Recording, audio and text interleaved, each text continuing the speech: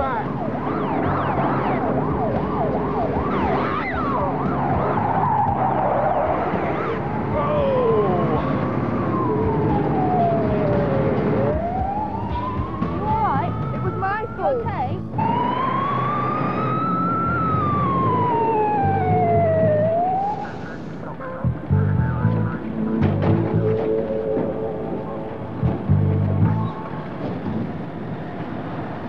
Up? Hello, John. Yeah, I think we're okay. It's confined to that floor and I've got a crew in there. I don't think we need you. All right, back on board, lads. Was anyone inside?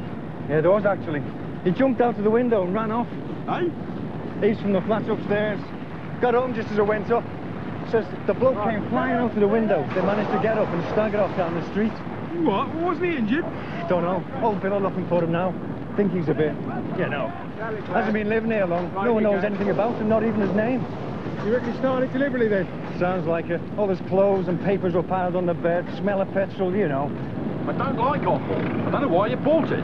It was a deal, wasn't it? Anyway, how am I supposed to know you don't like liver? Well, you've been mess manager long enough. Bayleaf knew what everyone's likes and dislikes were. Stop going on about Bayleaf, Paul. Yeah, come on, Bayleaf's cooking. Go down to his restaurant. We're going to. He's doing all right, hasn't he?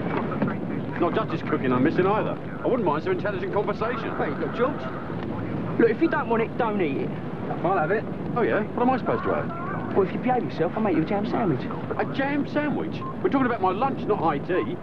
I put as much in that kitty as anybody else, and I should have what I want sometimes. You never listen to a word I say.